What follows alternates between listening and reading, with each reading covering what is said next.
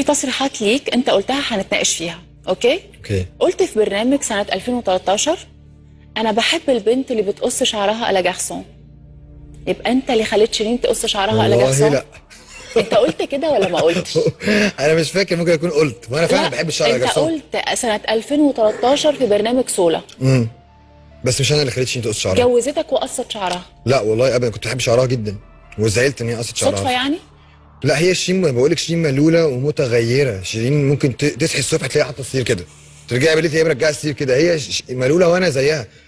فأنا ما أقدرش أقول لحد مثلا لا خلي شعري طويل عشان أنا بحبه طويل أو لا قصيه عشان أنا بحبه قصير. أنا بشوف إن الشكل دي حاجة very private برضه. حاجة لازم تبقي انت اللي راضية عنها. فهي لما تقرر إنها تقص شعرها أكيد قصيه. أنا أنا كحسام لا أنا كنت بحب الشعر الطويل عليها أكتر. بس بس برضه الشعر القصير على شيرين أنا أول ما هي أول ما طلعت شيرين طلع بشعرها القصير. فمش مستغربه عليها بالعكس حاسه it fits شكلها لايق عليه قوي الشعر القصير وهي كمان شيرين edgy يعني شيرين جريئة. يعني مين يبقى عنده شعر لحد هنا وفجأة يقول أنا هقص شعري كده out of the blue هي جريئة. وأنا ما بحبش أضيع فيها الحاجات اللي هي الحلوة اللي في شخصيتها اللي هي مخليها فنانة قوي كده. اللي مخليها فنانة قوي كده جزء منه هي جرأتها دي الجنون. طبعا. طبعا, الفن جنون. طبعا. قلت والله العظيم اللحن ده بتاعي وما سرقتش من حد. آه لحن عمرو مصطفى. بتاع انت معايا. بصي هو الحلفان صح وهو صح. الأغنية دي أنا أول مرة بقول الكلام ده. الأغنية دي كانت نص لحني نص لحن برضه والأغنية لحني وإحنا المفروض هنغنيها أغنية فيلم تيمور وشفيقه وهينزلوا الفيلم خلاص نزل السينمات فجاه out of the blue عمرو مصطفى قرر أنا عايز أغني الأغنية دي. فليه يا عمرو؟ الحكاية الروايه مش عارف إيه بتاع اتخانقنا مع بعض. فقلت له أنا ما عنديش وقت أرجع وهنزلها واحط اسمي بس عليها. أنت أنت عايز تعمله. أنا ده, ده شغل. ناس دخلت استوديوهات وعملت حاجات و...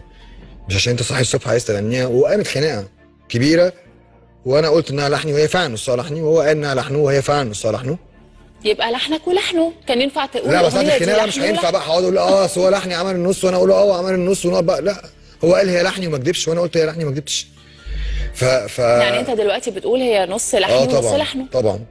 آه طبعا. ما هو ياتي كل ذي حق حق وعمرو صاحبي وهيفضل صاحبي يعني ومش معنى إن هو اختلفنا مرة وإحنا عيال صغيرين و...